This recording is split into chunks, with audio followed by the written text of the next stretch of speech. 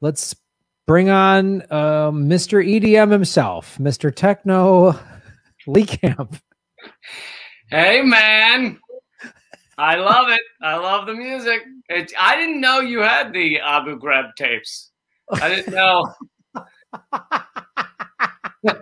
you had the leaked torture music.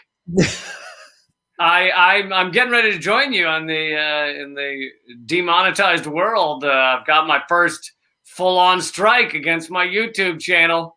Yes, congratulations, Lee Camp. Copyright strike. Um, and I no, I mine was for cyberbullying. Yeah, tell us who you were cyberbullying. That you sent I, me this text, and I literally was like, okay. It was a it was a video from like I don't know a year ago, maybe maybe a little less, but I think a year ago, talking about the connections. And some of these were covered in like mainstream outlets, but the connections between Bloomberg and Epstein, Michael Bloomberg and Epstein. And there's like photos of them together. And so, of course, they had connections. But uh, yeah, that was pulled down, and they said it was cyberbullying. So either I'm bullying a, a dead rapist sex trafficker or I'm apparently bullying a multi-billionaire who's gonna have a real time getting over a real tough time getting over this, getting over my accusations. I think, you know, he's gonna be in his yacht, inside his other yacht, crying about what I've said. Can we stop bullying billionaires, Lee? Can we just can it stop? Just stop this billionaire that did stop and frisk and ruin people's lives and hung out with pedophiles and sex traffickers. Can we just stop hurting him? He's a, he's a human being too. No, he's not. Um, yeah. Cyberbullying a billionaire with known ties to one of the most notorious pedophiles the world has ever known. Yeah. I, so I, mean, I, I should have learned my lesson after. you you you covered the topic and they uh, they shut you down. So I mean, yeah, I got a you know my demonetization was for well, a lot of things, but I got one. I got a video pulled down for medical misinformation. Just reading stories saying it's not other organizations and journalists saying it's not good that Bill Gates won't release the COVID vaccine patent to poor countries. I just repeated yeah, that, that information. Yeah, that that was covered in some mainstream outlets as well. That was like that was not some sort of like you know hidden thing that was out there very clearly. I, and I didn't give any medical misinformation. I didn't say, "Oh, the vaccine doesn't work." I didn't say any crazy. I said, "I said the vaccine works, and these poor countries could use it," and he's denying it. And that was the medical misinformation I was supposedly giving. Like, well, clearly the problem is that both of us have uh, said mean things to billionaires. Yes, and it's got to stop, Lee Camp. It does. Bill Bill Gates is, uh, you know, he's he's struggling right now. He's having a hard time. Him and Elon Musk, they're having a hard time.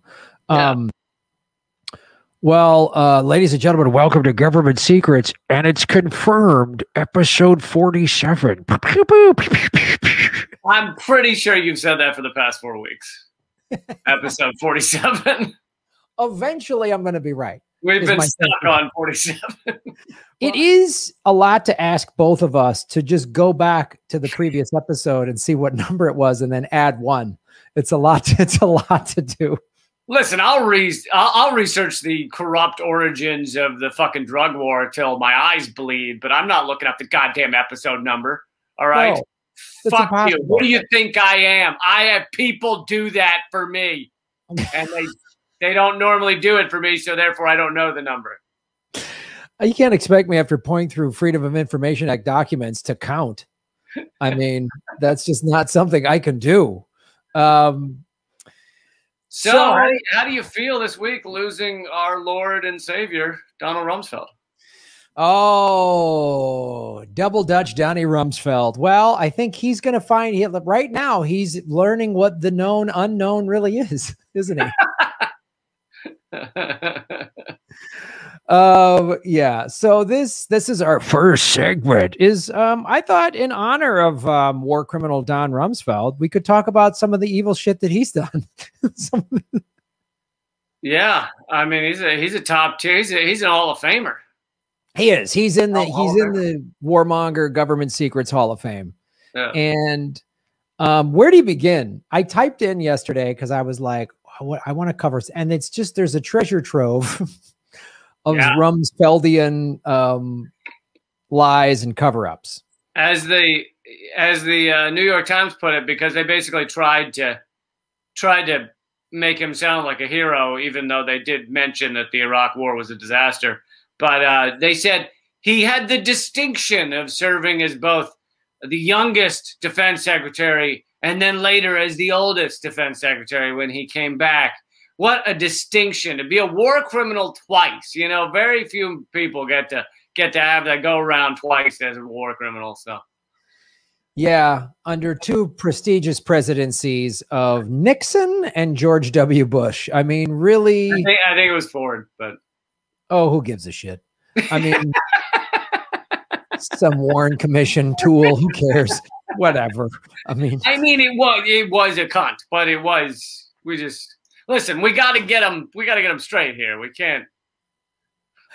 Yeah, I just whatever, whatever failed parasite warmongering clown that has embarrassed the White House since they killed Kennedy. Yeah, sure. Um, one of those guys. Um, Donald Rumsfeld, former defense secretary and accused war criminal, dead at 88. what, so, which, which, one's that from? That's uh, from Teen Vogue. Teen Vogue, uh, we talked about this before. They actually do some good shit. But the the best uh, headline from my former employer, The Onion, was weapon of mass destruction found dead at 88. God bless The Onion. They are doing the Lord's work. Um, so 10 months before September 11, which we are coming up on the 20 year anniversary, Secretary of Defense Donald Rumsfeld approved an updated version of the U.S. Army's secret operational continuity of government plan. This is weird a draft document published by the whistleblowing website WikiLeaks entitled Army Regulation 50 500 3 Emergency Employment of Army and Other Resources, Army Continu uh, Continuity of Operations Program, dated January 19, 2001, spells out changes in Army doctrine. Um, this is a pretty I don't know. It's a lot of what a lot of people use as a, they consider it a smoking gun in terms of like was 9/11 planned. I don't know about that, but maybe I, I will. Yeah, they knew something was going to happen.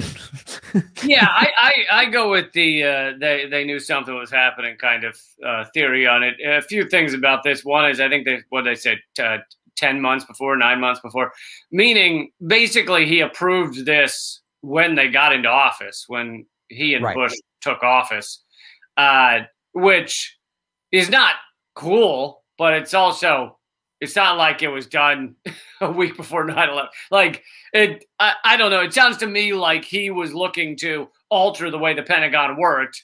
Uh, this is not denying he's a fuckface but uh, like he was doing that. And then the other thing that people uh, this is the funniest one that i find when people point to the fact that he gave a speech on 9-10 the day before 9-11 to the Pentagon, like had like a all all hands on deck meeting, and basically said, and there's a quote actually of the sentence of him saying, "We're or I'm at war with the Pentagon." And his point was basically he's at war with the bureaucracy and the uh, you know the unaccountable uh, waste and stuff. Uh, and he gave a speech about it. And so people go, Rumsfeld said he was at war with the Pentagon the day before they bombed the Pentagon or the jet hit the Pentagon or whatever. And it's like, okay, first of all, do you think he'd really, if he knew that was going to happen, give a speech the day before being like, hey, just to let you know, I'm about to blast a hole in the Pentagon? Uh, it, it actually, to me, it proves the opposite that they might have known something was going down, but I don't think he knew what the following day was going to hold if he's giving a speech saying I'm at war with the Pentagon. Yeah, I I, I subscribe to the theory that it was kind of like the theories of FDR and and Pearl Harbor. They had a they thought something was coming, they didn't know what, and they went, well, let's just kind of let it happen, because if we let it happen, we don't really go like really try to stop it right. Then, and, Pearl Harbor, there's a, a fair amount of evidence that he, or, or maybe overwhelming out of evidence that they knew basically the attack was coming on Pearl Harbor. Uh, and I don't know if they knew how many people were going to die, things like that, but uh, they knew they knew it was coming, and they I think found it useful, you know, to get into the war. Well, yeah, Americans didn't want to get into another war at that point, and and FDR knew that this happened. Americans would be like, "We were attacked. We have to do this." That's why, you know, it's there's also this like wacky coincidence of Pearl Harbor where he pulled a lot of the commanding officers out of Pearl Harbor.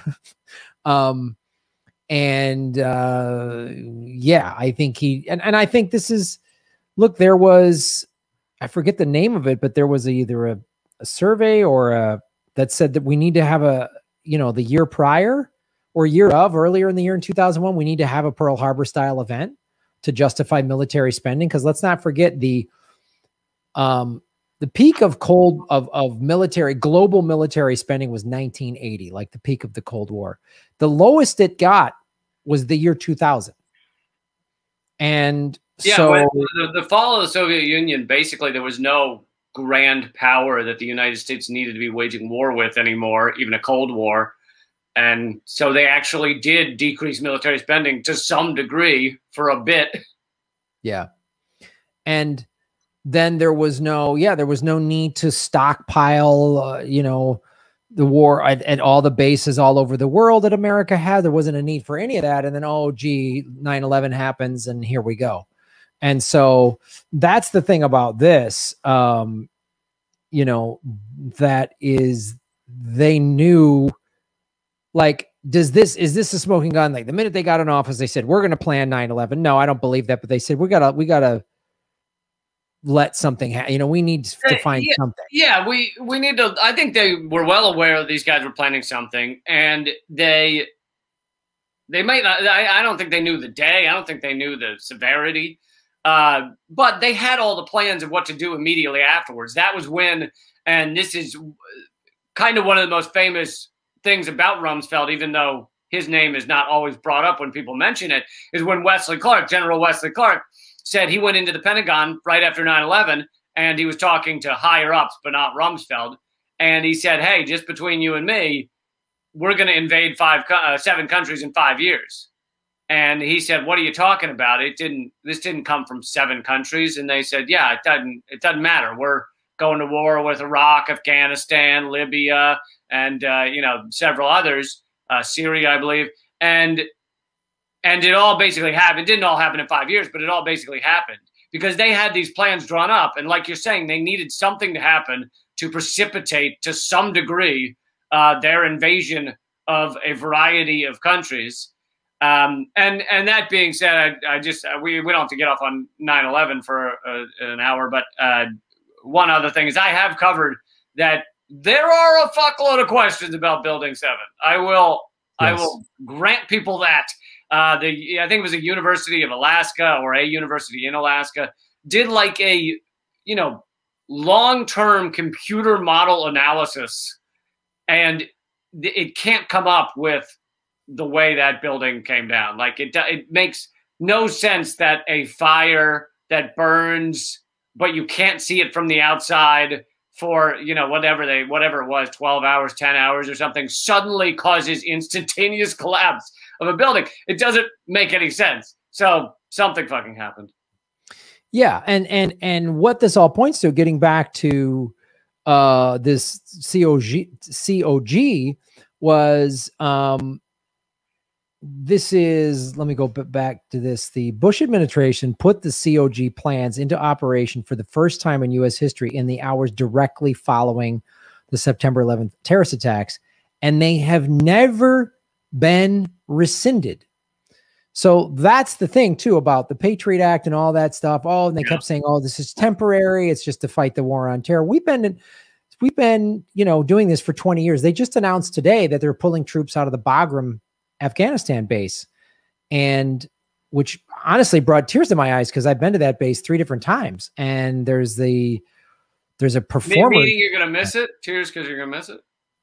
I don't know. It just brought. Up, I mean, it literally like it just brought up all the emotion of going over there, I think. And there's this tent that all the performers stayed in, and all of our headshots were all up there.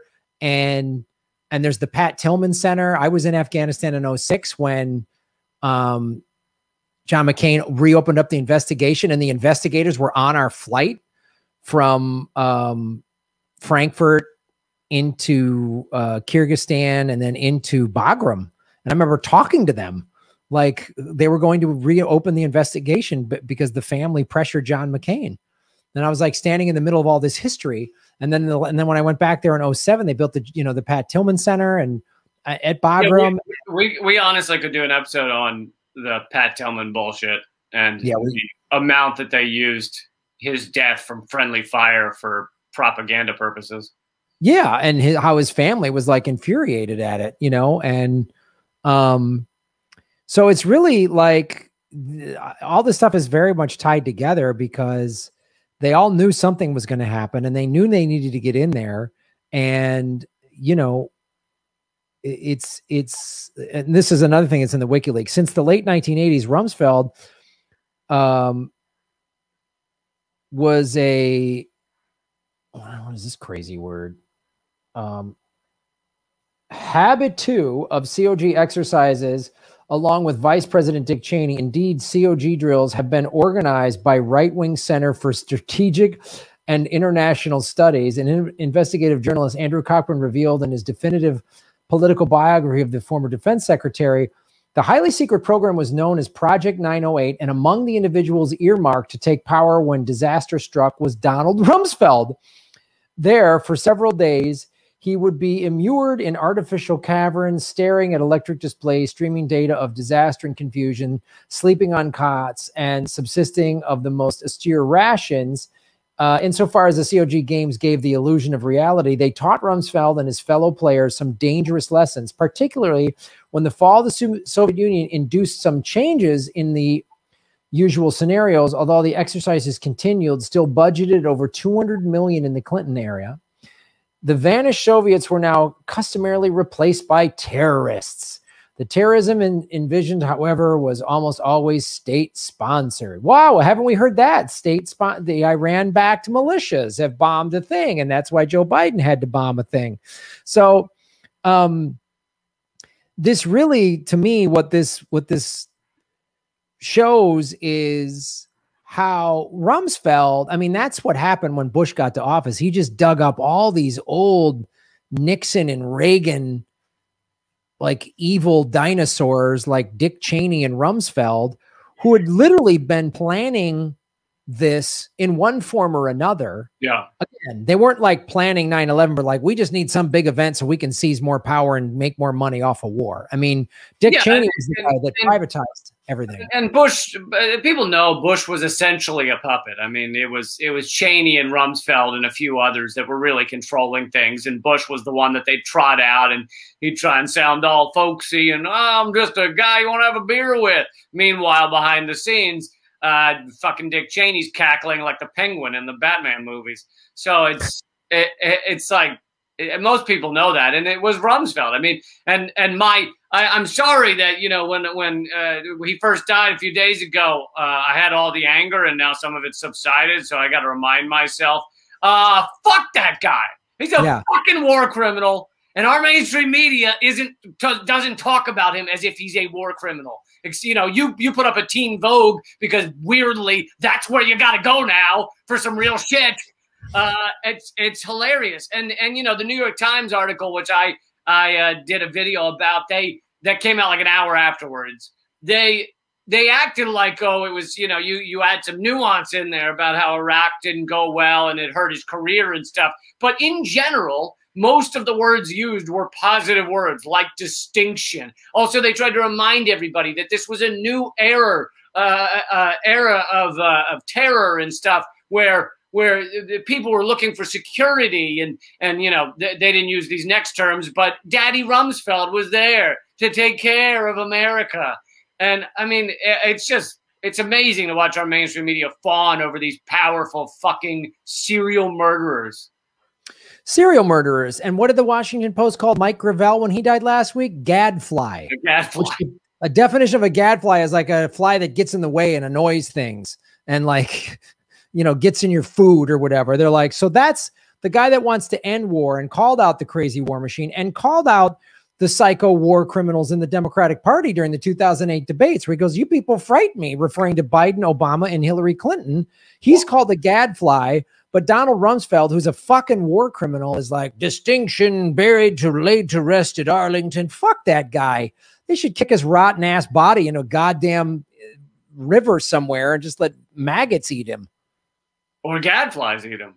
Or gadflies. I think gadflies would be very appropriate. Yeah, yeah. when, uh, when when Mike Gravel, uh, uh, Gad, like it's the 1950s, and they're like, "Oh, why that?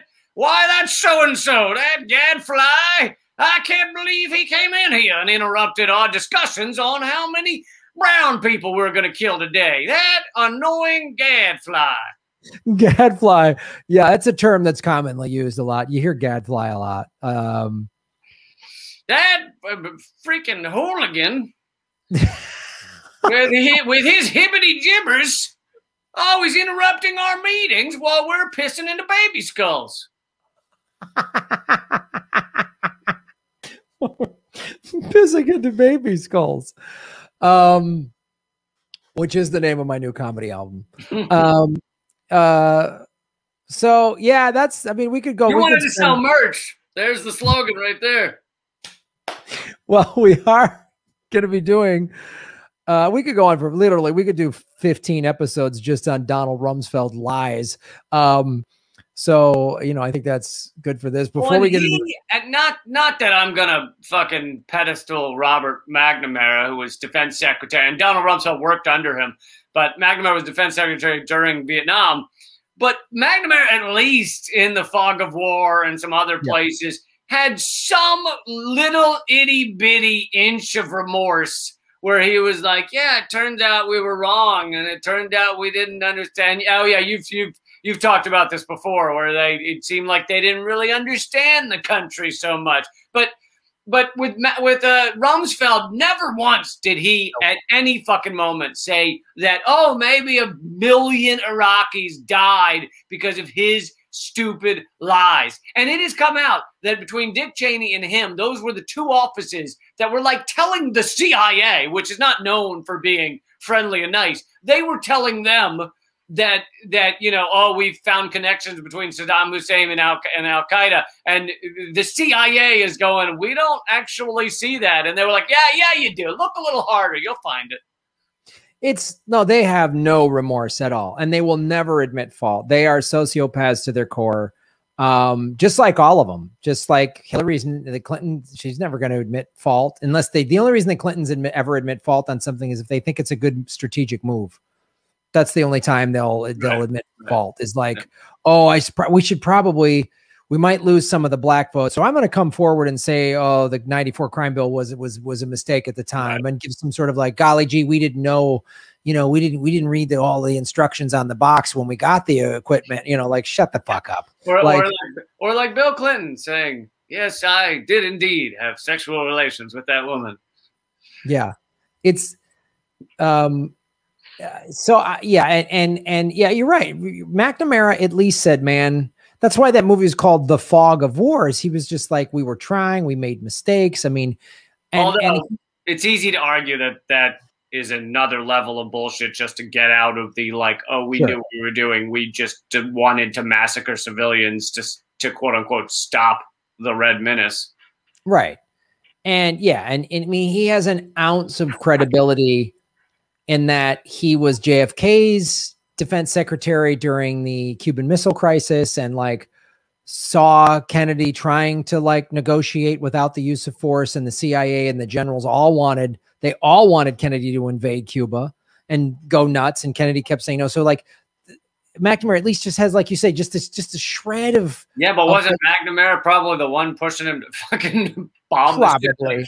Probably was um another one of these Ivy League psychos um, that helped ramp up the war in um, in Vietnam, which is why I don't really trust people that have Ivy League degrees. I'll be real, real clear with you. I just did anytime somebody and, and when I see them like in Hollywood, oh, this he was in Harvard. He's a smart comedian. No, he's not. He's never. If I'd never hire him because this fucking silver spoon ass will always get a job somewhere. I will never Dude, hire. You, you cannot get into writing. Uh, I don't know if it's specifically comedy, but the the comedy writing world, and I mean maybe it's opened up a little the past like ten years, but it's like just all Harvard and Yale oh. and Stanford and shit like writing. Never hire them and, ever. Never. Never hire them. I will never hire them. I will never hire somebody with an Ivy League degree ever.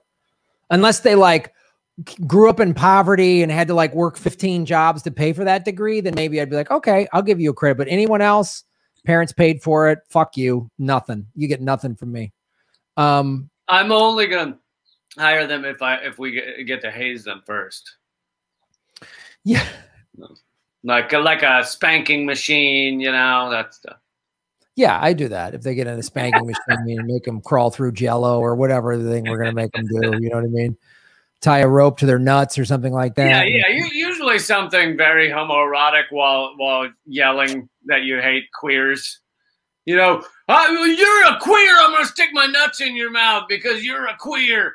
Look at me, look at me, because you you you're gay, which is stupid. So I'm gonna put my nuts in your mouth. I know. I, that's why I never joined a fraternity. I'm like, well, I don't know that I, you know, I'm not gay, and uh, if I was gay, I wouldn't be all repressed and angry about it and join a fraternity. I'd just be gay and go be a gay guy and have fun being a gay guy rather than like I'm not gay. You know what I mean? Like why you you know make some guy blow you and be like you like this you weirdo. Like i wouldn't do that. I would just i would just be gay and be like oh i like dudes. I'm gonna hang out with dudes. Like that's what i would do. I wouldn't have to like that's why they're always like man me me and my guys from my frat those were the years. I just those were my best buddies. Well yeah because you blew each other. That's yeah you guys were that really keeps it keeps guys close. It does yeah. And then you guys all married, you know, women and moved in the suburbs and then, you know, blue dudes at your golf club and there were gym or whatever. Like I've known so many gay guys that said they hooked up with married men, like suburban married guys. I, I was like, what? They're like, oh, Graham. all the time. I was like, no way. I was like, this friend of mine who was gay, is a comic, would tell me that goes, Graham, I'd hook up with these guys all the time. Are you kidding me? He goes, yeah, they're all I was like, and a lot of them used to be in fraternities and stuff. I'm like, I knew it. I knew it. Um, so like another reason to just admit you're gay. We wouldn't need fraternities or hazing or Mike Pence. Mike Pence, if he just admitted he was gay, he wouldn't be so repressed. That's true. Weird true. evangelical bullshit. Yeah. He wouldn't um, need to, he wouldn't need to do the, the the glory hole thing just to get hard. Yeah. True. That's why they call it a glory hole. It's mainly heavily religious people that are there. Glory be to God. Yeah, there you go. Jam it in there, friend. Jesus is on the other end. Jesus is on the other. Just picture Jesus on the other side. That's he came he came back to earth and it's it's he's had a rough go at it. It was the only job he could find. You know, employment is tough to find good employment these days. So. I there's not a lot of carpentry happening. You know what I mean? Like, uh... well, he he cuts the holes in the walls, so they, they got some. He got paid extra for that. You know. I mean, vineyards are you know, turning water into wine. Isn't that big of a deal now? Because it's like everyone's got a vineyard, so it's really it's not that big of a deal. Everyone's drinking those hard seltzers. Wine's not that big. Um, so anyway, yeah, Rumsfeld. I'm glad he's dead. He can go fuck himself. So that's where we're at with that. um, that was the secret. that was the secret. Rumsfeld is uh, right now in a lake of fire sucking Hitler's dick for eternity. Good luck, Hellfire. Um, so, uh, next government secret segment. Beep, beep, beep. Um, what do you got on tap for us, Lee Camp? Yeah, let's do it. So first of all, we got an update. Is there a is there a noises for an update? Government secrets update. It's a new sound effect I just spent a lot of money on it, it, got very sad trombone there at the end.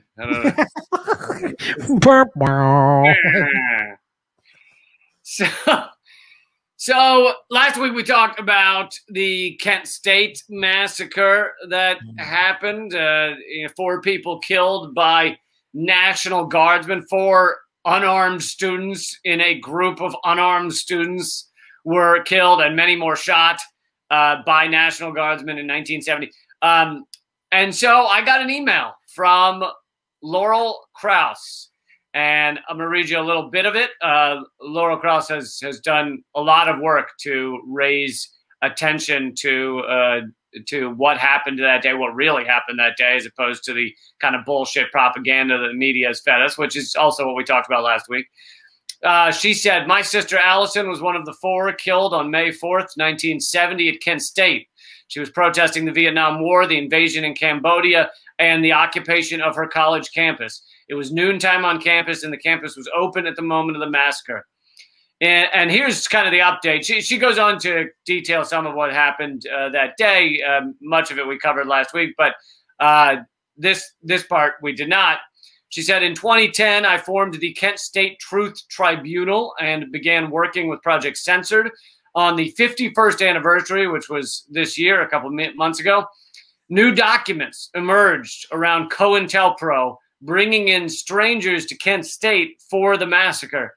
Even more interesting, Ohio Northern University interviewed 12 original Kent State, Ohio National Guardsmen present that day.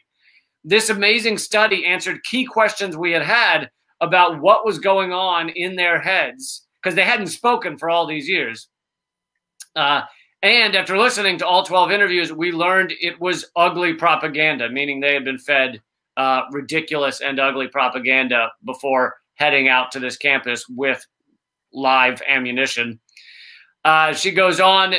There was one guardsman that stood out, J. Ronald Snyder, aka James Snyder. He stands out because he still works as a security guard at Kent State. Most likely, this is his reward for the dirty tricks he performed for the COINTELPRO project at Kent State. This was also the same guardsman we mentioned last week who lied initially afterwards and said he found a gun and brass knuckles on one of the dead students. And he later admitted that he had just flat out made that up. There was no gun, uh, there were no brass knuckles on the dead student.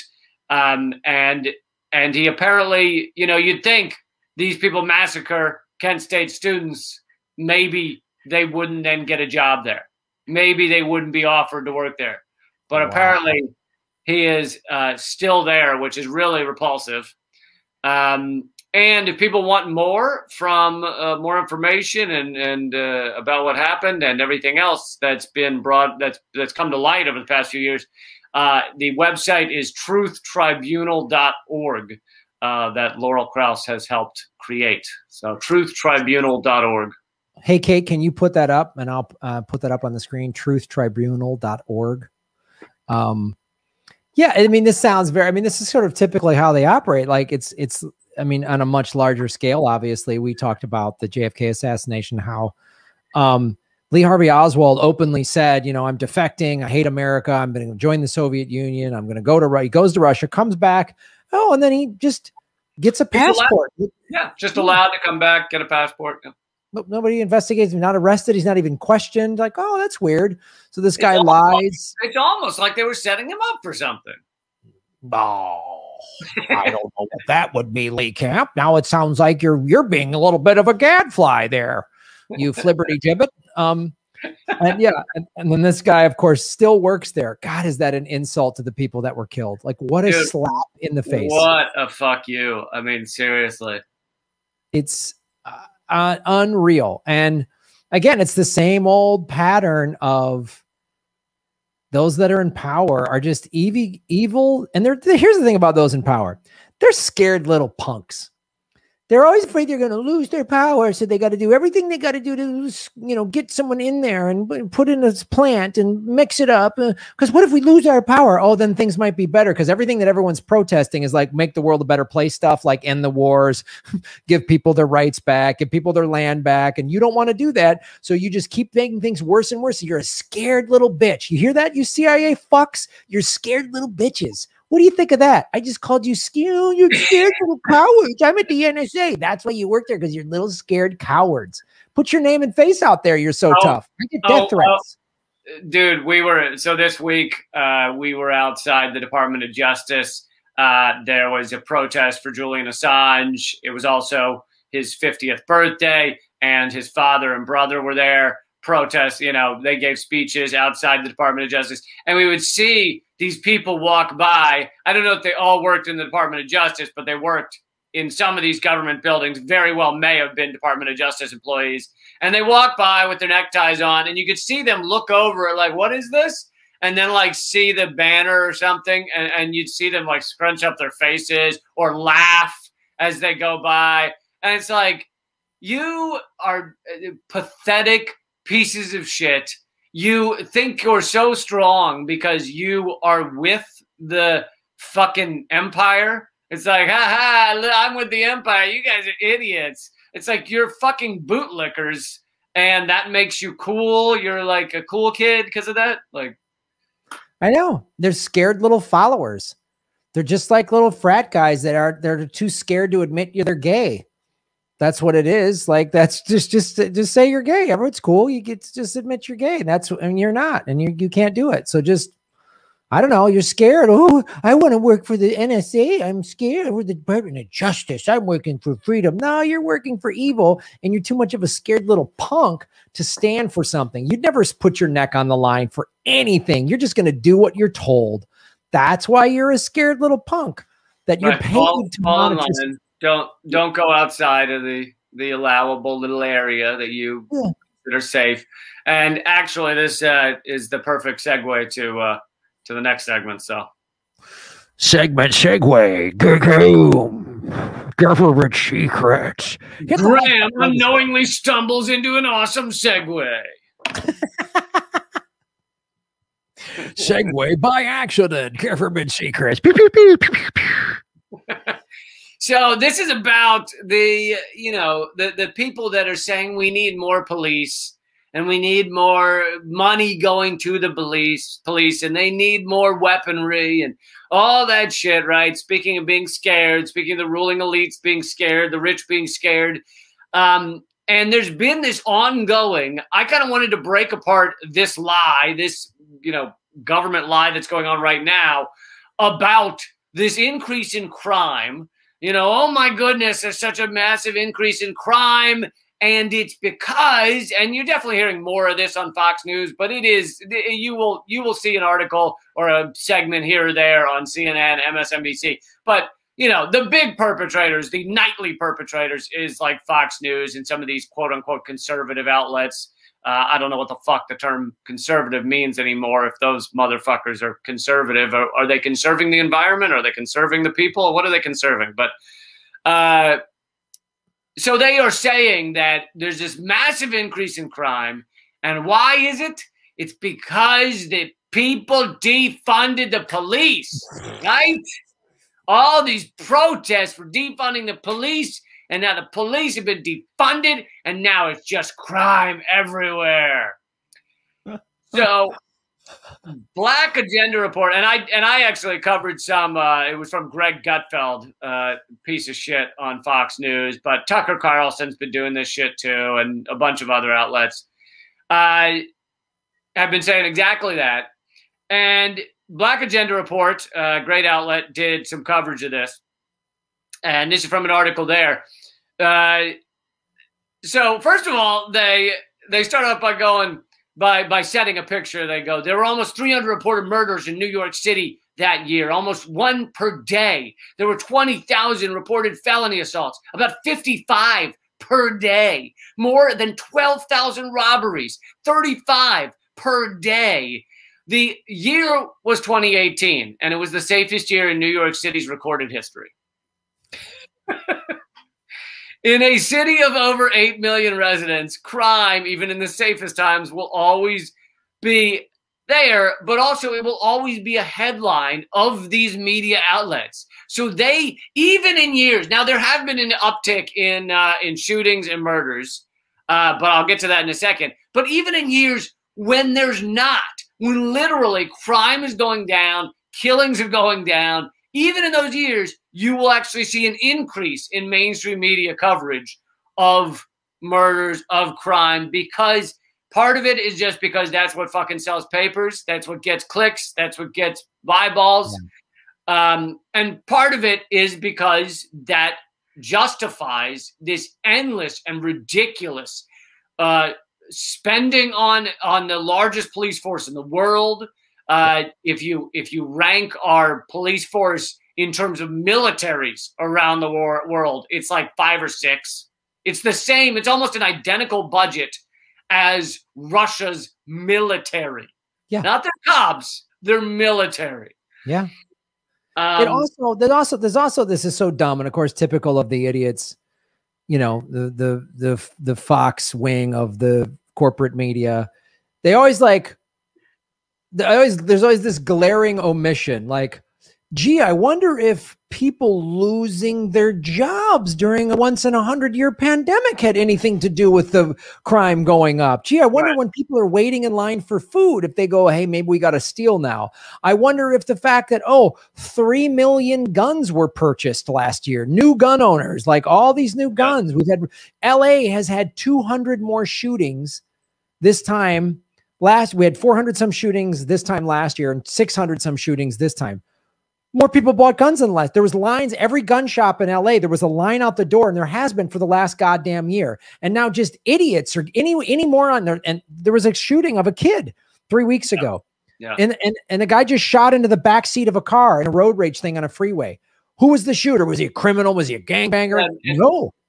And Legal gun like, say, people like to say, uh, you know, well, a gun's just a tool, and it's like, yeah, but if the tool's sitting there next to more people you're going to have more people using the tool when they're being fucking idiots. Yes.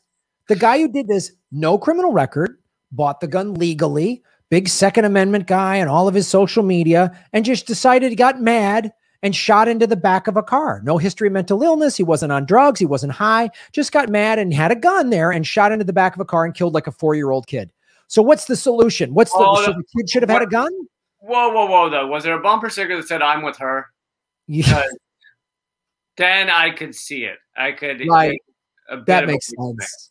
Yeah. It's and so these idiots, these right-wing morons are so stupid in their own dumb, fat-headed way. And they're different than the stupidity of the vote any blue will do morons. Um, and they don't they again fear sells and keep the corporate media is designed to keep us divided distracted and afraid and scared scared always helps spend money and they never look at stuff like well what if defund the police they always react with that stupid like old man like oh so we should just give the cops lollipops and squirt guns then you know like no that's not what we're saying. Well we're saying, and and just to get just to get off on the the gun tangent for one second i am fine with gun ownership. I am fine with people owning whatever a pistol if they want to. Uh, but I think I think it's the coward's weapon and I and I'm glad I'm losing viewers that are mad when I say that. So take your gun and go fuck yourself. But I'm sorry, well, I didn't mean to interrupt.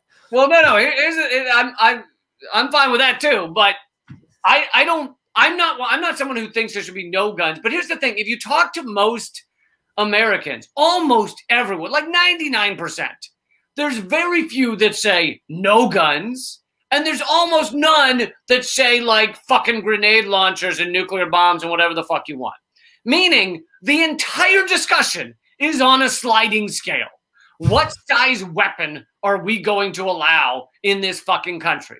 And people want to act like it's an all or nothing thing. Yeah, they, yeah, they take your hundred rounds that fire in one second gun, and then they're taking all the guns. If they, if you don't, if we can't get the clips that have a billion bullets in them, then they're taking all your guns. It's, it's like almost everyone I know believes in some sort of middle ground, and yet they, we're told to make this a black or white issue. Yet I've never met someone who thinks we should have grenade launchers. Or what if they, which they're very close to doing, what if they invent a laser that you could shoot that fucking goes through like three states and just kills everybody in your path? Are you cool with you just walking around with that? Like, I am. You're fine with that? I would. I, I. I don't want guns. I want lasers. I want lasers on sharks that you could carry. You carry the shark around, and you fire the laser. Shoot the laser out of it. Yeah. Uh, you know, I think America's doomed, and it's it's uh, America is going to divulge into some horrific sort of fractionalized territorial warlord beef, and we're killing each other, and it's going to be mayhem, and Americans will never realize America's and they're still going greatest country in the world. No, what nowhere else. There's if you watched another country do this, hundreds of shootings every day in in each city. I mean, mass shootings every week, cops killing people every day, um, random shootings, uh, a capital that's overrun by people with guns that have Nazi paraphernalia. If you saw this in any other country, go that country's done. It's it's out of its mind. I'm never going there. Like if you're living in another country, I wouldn't visit here. I wouldn't. I mean, I wouldn't Although feel safe. I will. I will say this, Graham, that I've I've talked to some uh, you know friends in Australia or, or, Britain. They literally think that we walk outside and we have to duck bullets. Like because if you look at the media coverage, that's what it sounds like. Uh, and it's like, yeah, it, it is. There there are a lot of factors of America that are really fucking shitty right now, and it's leading the way. And these garbage politicians are leading us faster and faster down that path. But it's not like I go to the store and and I'm fucking ducking. No, but there's been a shooting. I mean, gun violence will affect everybody's daily life in one way or has in one way or another. If it if it hasn't, it will in America. That's just there's it's gonna happen. I mean, there's there's just no way with more fear, more poverty, more people losing their jobs, and more gun sales. There's just no way. There's just no way it's not going to. You know, all you need to protect from a gun is the flag, man. You just hold yeah. up that flag. USA. Yeah, there was a shooting in Santa Monica at the Santa Monica College. A young male, white male in his 20s. Uh, this is going to sound shocking. History of mental illness and easy access to guns. Went to Santa Monica College and shot it up, killed a bunch of people, and then he died. And then the next day in my yoga class, a half mile from the shooting, after class, nobody said, I'm getting a gun. I'm, I'm protecting my. Everyone prayed for world peace and said namaste. But, you know, that's uh, that's how we dealt with it. Uh, no, but I don't live in fear. I, I, I, if I, I hope I get killed by a gun nut so that I can wait for that guy and skull fuck him for hell and during for eternity in hell. Sentences I didn't think I was going to hear on this episode. Yeah, I think I, I I'm doubling down on on my disdain for gun owners now. I'm I'm done playing the and I hope it pisses people off. So I always tell the gun owners if you if you don't like what I'm saying, you know, put the gun in your mouth and pull the trigger that's what George Harrison said. If, if every gun owner killed themselves, then the world would be a better place. So it's a it's a cowardly, scared weapon, and uh, yeah, go fuck off. Go fuck you. Fuck your hunting. Fuck your soldiers. Fuck your militia. Go fuck off. But anyway, um, as long as you include cops in that analysis. No, cops too. They can go fuck themselves. Yeah, they can all go fuck them. Fuck them all. They can all go fuck themselves. Anyway, let's go. Let's finish this segment. Um, Oh man, I don't I don't know I don't know if you have it in you to finish this article. But um so yes, they they continue talking about how crime is rising. And as you uh as you mentioned, uh you know, this this is a year when we're climbing out of a pandemic. We saw mass economic and social fallout. Uh, there's you know you know so many people that are in more insecure in their lives than ever before in terms of where their food's coming from, how they're going to pay their rent. And so a lot of those things, all those things contribute to crime, to desperation. And so if you would have an actual genuine segment from Fox News or these other outlets, then they would discuss all of those things. But instead, they just, you know, they're bootlickers and they just want uh, Papa Police to protect, you know, the rich and their and their valuables. So they just keep saying it's because we don't have enough police. We don't have there's not enough money pumped into them. Uh, the, this article talks about conservative tabloids, the the Post and the New York Daily News uh, have for years tried to stir fear of a, and they're talking about New York, but it's happened in many cities of a city overrun by crime. Fairness and Accuracy in Reporting has done coverage of this. Um, they were uh, they were apocalyptic in their predictions of the city when stop and frisk was stopped, which, of course, it was one of the most racist police procedures you could have. It was literally just New York Police Department riding around, grabbing any mostly black males, but black, Hispanic, some women, right. But any people of color grabbing them and just trying to find any reason in the world to arrest them. You know, whether they have a half a joint, whether they were loitering, whether they have an alcoholic beverage on them, just anything to to put them in the system. Um, and so there's also been some criticism that there's been some reduction of cash bail, which is the most fucking draconian bullshit. We are one of like two or three countries that even has cash bail. And and we have reduced it in some cities, in some states, which is the way it should fucking be. And the right wing media is saying, oh, well, that's the reason there's an increase in crime because you're getting rid of cash bail. Uh, data, however, doesn't back data doesn't back the assertion that bail reform has led to crime increases. The Center for Court Innovation found no evidence to support the claim mm-hmm. that bail reform was behind a spike in gun violence. it's so I can't it like this country's so insane. Like it's I'm living in an insane asylum, living in this country. Listen to people, we got rid of cash bail. That's why the crime went. Like it's just it's like I don't I don't even know how to. You can't even argue or debate with these people because they're just they're just nuts. Have you ever tried to watch an episode of like Greg Gutfeld or Tucker Carlson or something? Oh, Gutfeld. Well, he's not funny. He thinks he's a comic for starters, so he's un he's unfunny.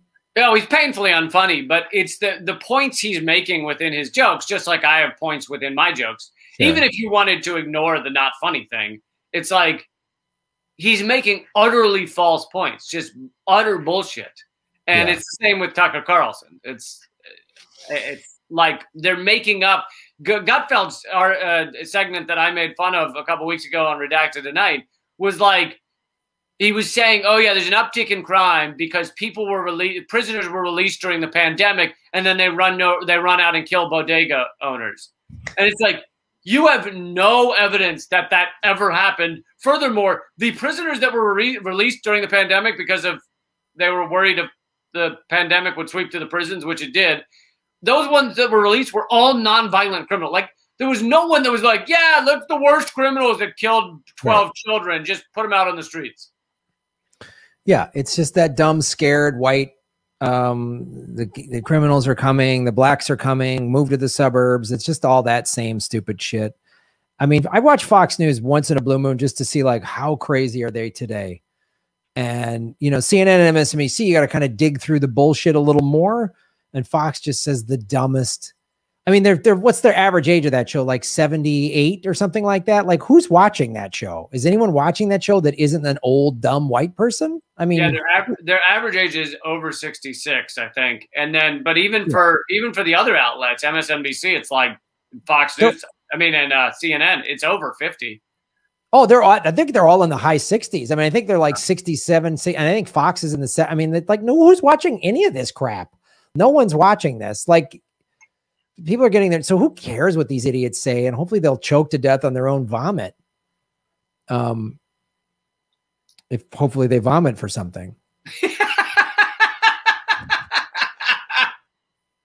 I love I love that analysis. I hope you choke on your own vomit. And then you think, oh God, what if he doesn't vomit? Well, I also hope you vomit for a reason we, we got to hope for the vomiting first. I mean, yeah. we can't put the cart, cart before the horse. Yeah, no, you gotta listen. If you're gonna hope someone chokes on their vomit, you gotta really analyze it and get to the root of of how you're gonna make that happen. that's what that's what that was that's what was in Machiavelli's The Prince. You know, if you're gonna tell someone to choke on their vomit, you have to then put forward an idea for how that's gonna happen.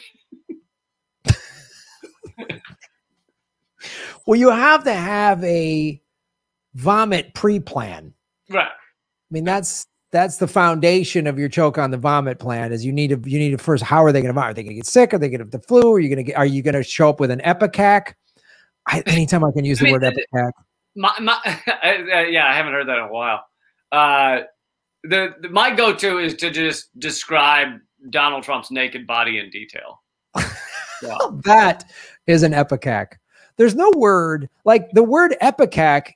It almost just, makes you choke saying it. It's, yeah, it is. The word ipecac is an ipecac.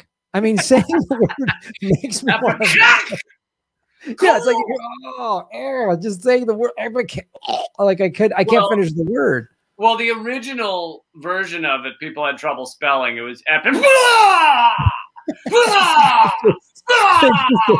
they didn't know how to spell that out, so they just put. Well, let's just make it cack. It was yeah, it, it, was a lot of G's and uh, and on the when they would put it on those signs where you put the letters up on like a fast food sign, they would run out of G's. So. Yeah, so ipecac. Um, so real quick here, uh, that should be one of our merch items, by the way, as a government secret ipecac. So would it be like a vomit bucket we'd sell? Well, it would be a, it, you know, here's how you do. This is how you make money, Lee. You get a bucket, the government secrets vomit bucket, and then a separate. or watching Fox News. while watching Fox News, and then with a separate ipecac that makes you. Yeah. You, you can buy them separately. If maybe you already have your own bucket, but then we sell them as a vomit gift pack.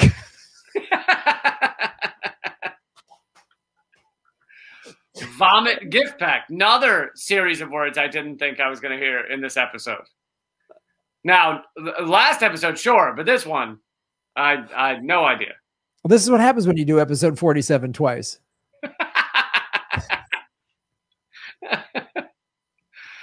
so, um, yeah. Fox News claimed the crime surge was due to defunding the police, but uh, and they were talking specifically about New York City to some degree, or city other cities that where defund the police was a slogan. But here's the thing: almost none of those cities have defunded the police. So it's fucking horseshit on every level. New York did reshuffle some of their school police spending. However, the, the much hyped decrease in police budget, which which was a billion dollars annually, was found by an independent budget watchdog to be only about a third of that. Any of the so called cuts wouldn't figure into the policing puzzle anyway, because increases in shootings began early last summer before the defunded budget, quote unquote, would have even been felt in the police department. So it's all utter horseshit. Uh, the uh, let's see the and and and also there's the point that the New York City Police Department is by far and away the largest, most expensive, most you know highest budgeted police force in the world. Mm-hmm. In the fucking world. So for anybody who's like crime increased because of the police budget, you're like, this is the most expensive and largest police department in the world, even after that third of a billion dollars got reshuffled. Uh, so, if anything, you could be like, why is there so much crime in New York City? Because there's so many fucking cops. Yeah. And and bullshit laws like stop all that stuff that just that just targets mainly poor people of color. I mean, that's what it does. I mean, like if the cops were really were really doing their jobs, they should be. I mean, there should be guys on Wall Street being arrested on a daily I mean, they, those, if you really want to stop the right. real crime in this country, go right. fucking put some of these hedge fund assholes in an orange jumpsuit and perp walk them down to police one station. You know what I'm saying? I'll, I'm down with that plan, but no, you're just, and, and it's the same thing. And, and like I've talked about this in Los Angeles, they, the LAPD gets 54% of the city's operating budget. We have a, the, the homeless problem keeps getting worse. It is so bad. And it is the most stark reality of have and have nots. Like downtown LA, you've got the Staples Center and all these fancy hotels and condos, and then Skid Row, which is fucking hell on earth, man. I mean, people get shot, murdered, trafficked out of there, and the cops kind of just like, well, they just make it the purge. I mean, it's just like insane. And then, but gee, I wonder if we took some of the, if we, and the minute these guys hear defund, they just these conservatives slip out. What if we refunded, took some of that money? Because most cops will tell you they don't want to deal with the every day they got to deal with the homeless and the craziness. What if we actually give gave people, put them in homes? We've talked about the housing first program, put them in homes, got them drug treatment, mental illness treatment, you know, all that stuff, got them back on the streets. They had an 80% success rate in Finland. What if we took some of that rather than giving cops more up armored vehicles to go terrorize working class people. I mean, the day the cops put their boot on the neck of a billionaire and kill that billionaire, I'm then I'll then I'll change my tune. Then I'll be like more on board with the cops. But I'm not seeing them do that. Like Bloomberg ties to Epstein. Why is that guy still walking the streets? Oh, but your channel gets a copyright strike for just pointing out this factual stuff. So, like, yeah. they can go fuck off. They can suck it. Those Guthrie, unfunny little pimp. I'd knock that cocksucker out with my vegetarian fists. What a bitch.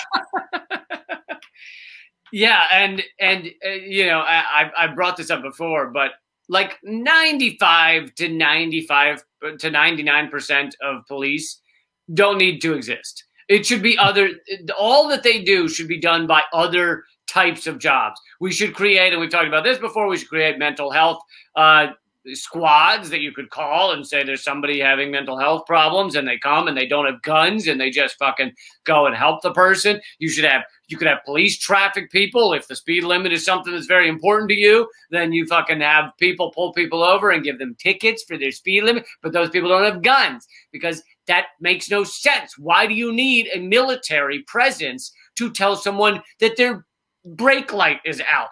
So, and you can go down the list. 90 9% of what police do is not is has nothing to do with like catching murderers and all right. that kind of stuff. So you could get rid of 99% of police and still have your people ready to deal with a terror attack or ready to deal with a maniac with a gun. You could still have some sort of people for that. But the reason this is not done, what I'm talking about, is because the true reason for our police department is they are the fist of the fascist state. They are the ones protecting the property and the status quo that is ruled by the rich. That they are the ones making sure everyone continues to operate in a very confined space of what is allowable. And the moment you get outside of that, even to the level of trying to stop a pipeline or doing some sort of protest, then these people are used to crack down, crush, and arrest those groups. Yeah. And I have no problem continuing funding investigators, detectives that do actual police work, finding out a murderer, breaking up a sex trafficking ring. That's fine. But like you say, the majority of the money is spent for, you know, in LA, they'd be like, this is a dispersed. This is an unlawful assembly. I, no, it's not. I, the Constitution says that it's not. We have a right to protest. And yeah. then they just came in and uh, just about every protest, everybody said the same thing. It was fine until the cop showed up. When the cop showed up, it got violent. So it's like they they this five to ten percent of police work that's actually like good police work. Investigators. A friend of mine, I had him on the show. He was a child crimes investigator. That's an important job. He caught sex traffickers and pedophiles mean, that was his job. And, and, and, you know, uh, hats off to him for doing that. And you need investigators for that kind of stuff. But we don't need people kicking homeless people out and night sticking protesters that just want to be treated with humanity. Or we don't need, I mean, like, spend the money to give people jobs and healthcare and education and all this stuff. And how many crimes, the crime rate would just go down just by doing that. And we've been talking about this for 40, 50 years, and nobody wants to listen. So these right wing cocksuckers just deserve. I mean, I hope there's fucking rights. Then they want every. They, they love the Second Amendment. Okay, I'll go the other way then. Everybody get a gun, especially if you're a person of color. Get a gun and defend yourself. now let's see where they stand. Let's get a gun. Everyone get a gun. Every, oh, the black community get a gun. Native American, absolutely get a gun. Let's get that. Let's arm all the all well, the. That, that, that was when even Ronald Reagan started rethinking the open carry. Yeah. they were all for open carry until the Black Panthers started open carrying. And then even Reagan was like, ah, never mind about that. Yeah. That's what I always say. Like, okay, you want your guns? You know what? You're right. Everybody should own a gun. Everybody. And then everyone gets to defend themselves.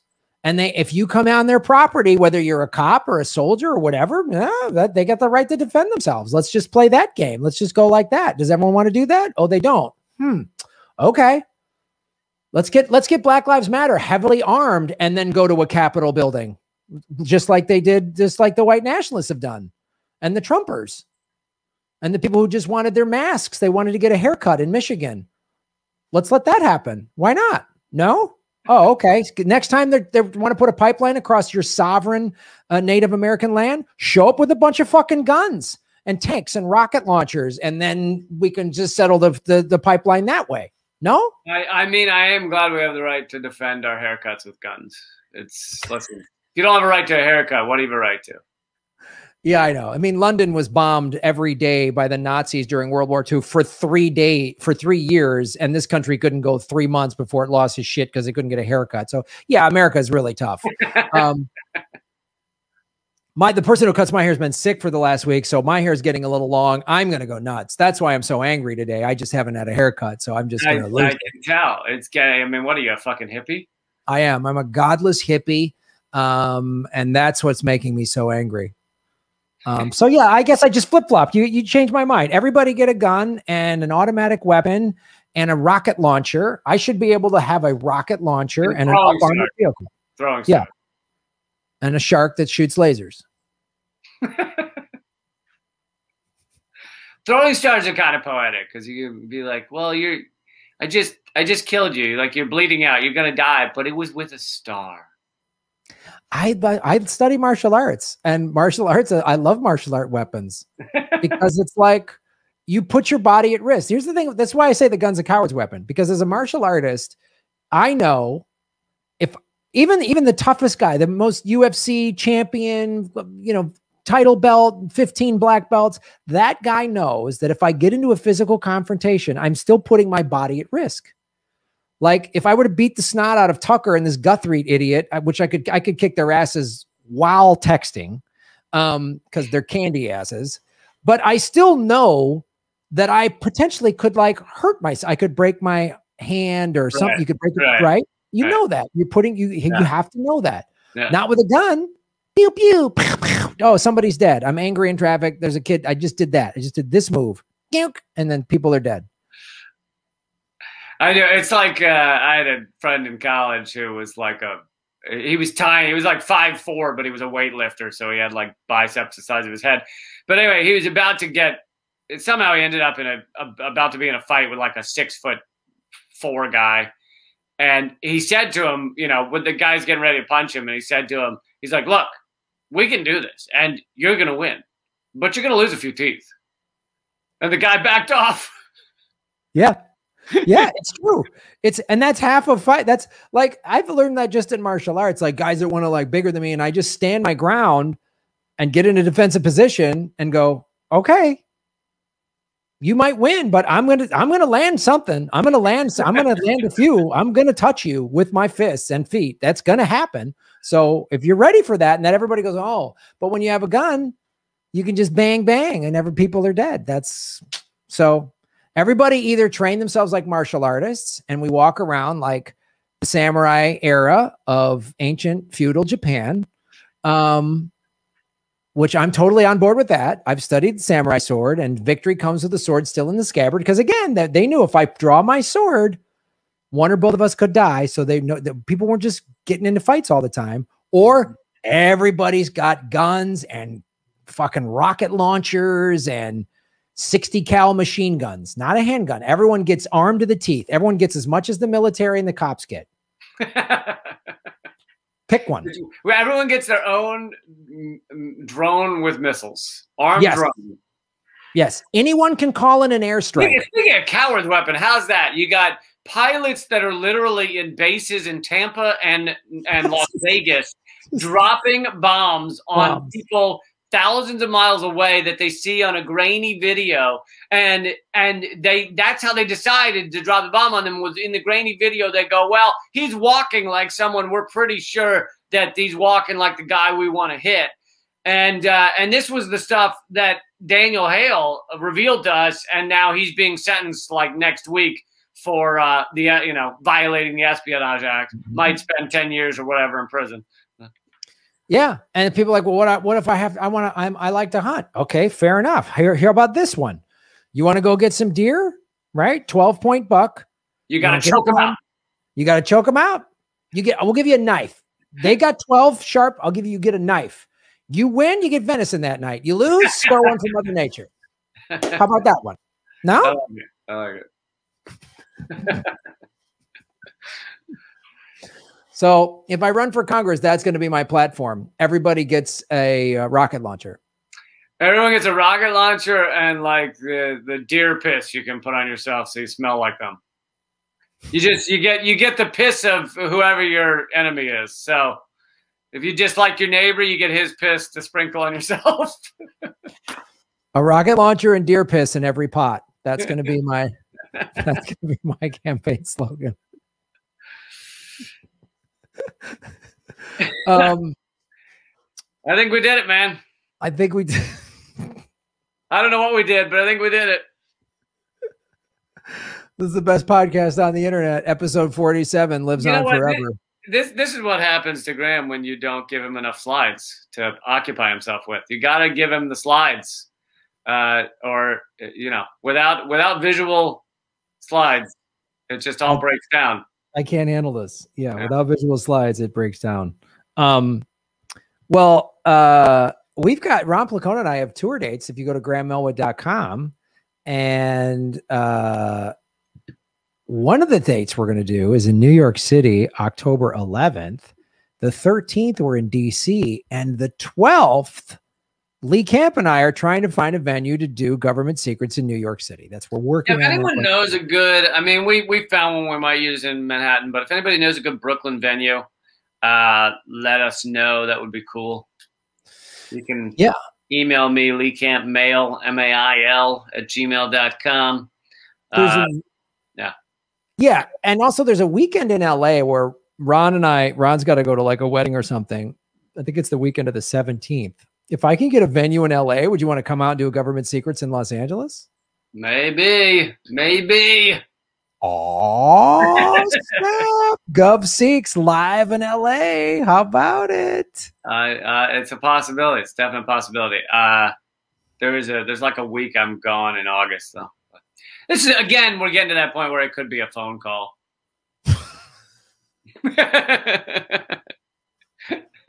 hey, what kind of laundry detergent do you use? I mean, do you use like what kind of? What's your best?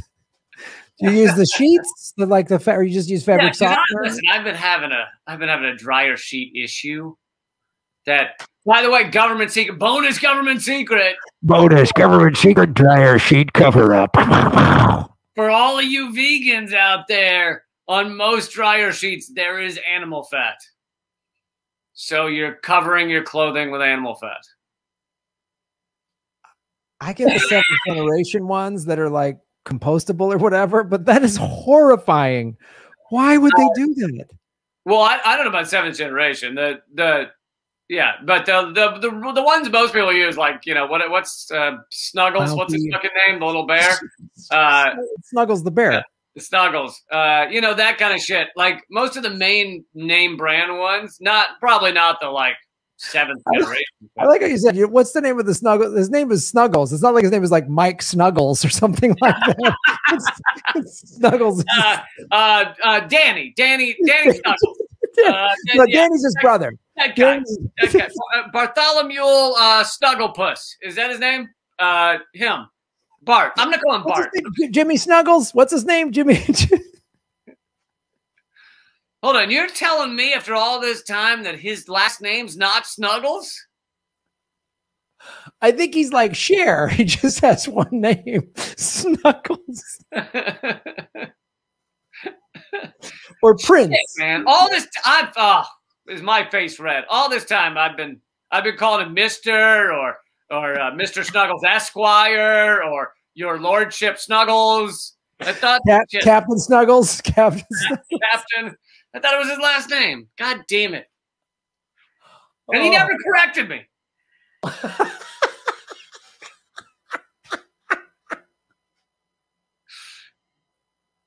what the fuck? Oh man, that's so cool. You get to hang out with the Danny Snuggles. Um, um, so did we? People have been asking about how to donate. Did we set that up? Of course not. There's no way. Right? of, of course not. No, we fucking didn't. Jesus. Why would you even say that? Lee, both of us barely read anything leading into this episode today. Like, come on. You really, you really.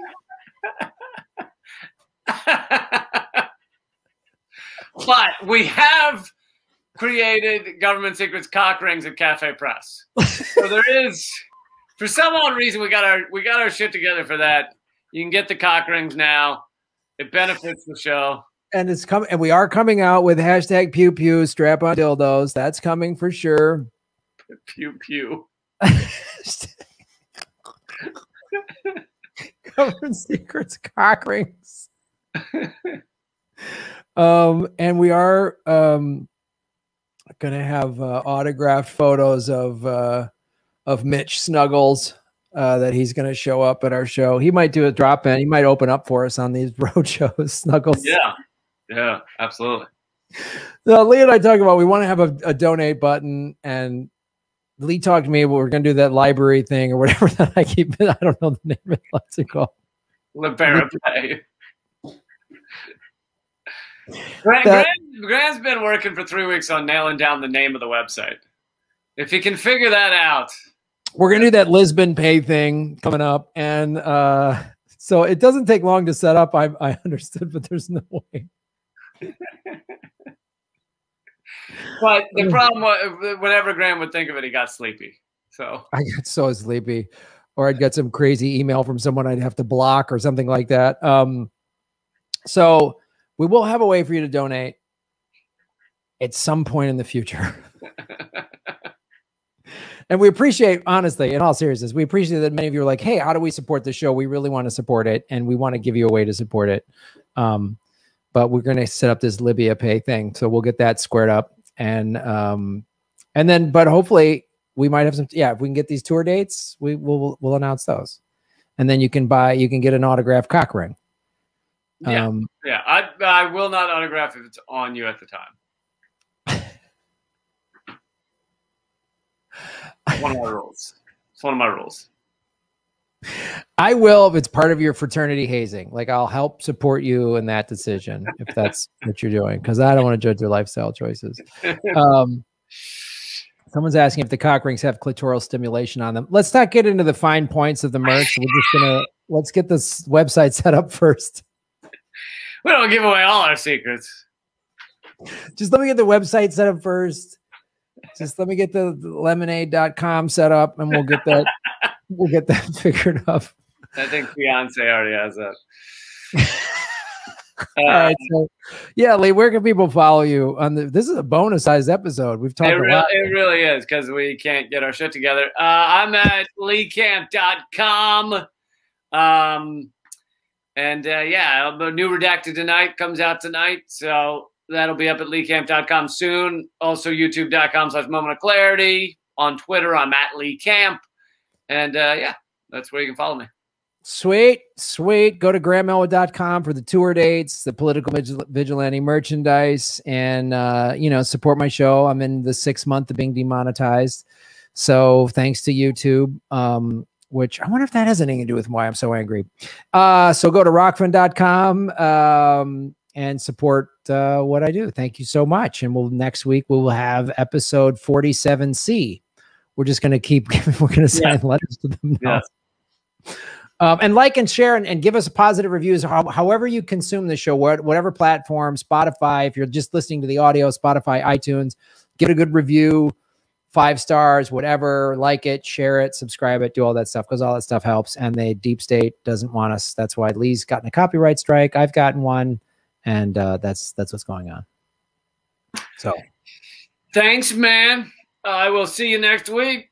You got it, buddy. Have a great weekend. Let me know how, what happens with the um, animal-based laundry sheets. Will do. So are you just throwing like a pork chop into your dryer? Is that what you're doing, basically? Yeah, I've, I've replaced it with pork chops. Yeah, I, I, I have. Uh, no, I listen. As a vegetarian, I was a little pissed to find out I was covering all my clothes with animal fat. God, that's disgusting. What a bunch of savages! Like the people know, are- like if you've got to do something fucking gross like that, at least say on the box, "Hey, this is plastered in animals we've killed." like, what a bunch of psycho murderers! That's like Jeffrey Dahmer's making fucking dryer sheets. Like, what is? Anyway, I mean, the shit we do to animals is unbelievable. Like you, I can guarantee you, at no point were two sheep like chatting with each other and they were like, Hey, after we die, you don't think they like turn part of us into something they put on their dicks, right? That's not that's not a thing, right? But no, sure enough. People do. No, they do say that. I watched Animal Farm when I was when I was in high school. They showed that to us or whatever. yeah, it was an extended scene about that. Yeah.